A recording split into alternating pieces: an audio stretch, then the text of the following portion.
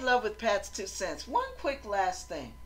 I saw a movie where this man he worked for this was during the the chip era where everybody had to get the the, uh, the chip and this particular soldier was really enforcing the law with vehement joy now what ended up happening was one of the brothers like i said the body of christ has to stay together we have to be knitted knitted tightly in love and one of the brothers warned him. He said, Now, you be careful with this guy.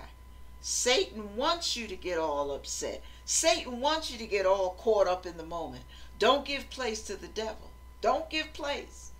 And I say that to you. Now, the reason he told him that, he said, Ask God to give you eyes to see.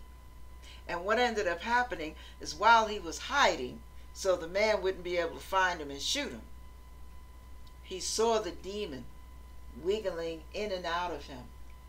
He was shocked. He realized this isn't the man. This is this is a demonic force moving this man's every move. Uh, pushing every word out of his mouth. Everything that manipulated that man to be who he was came straight from the enemy.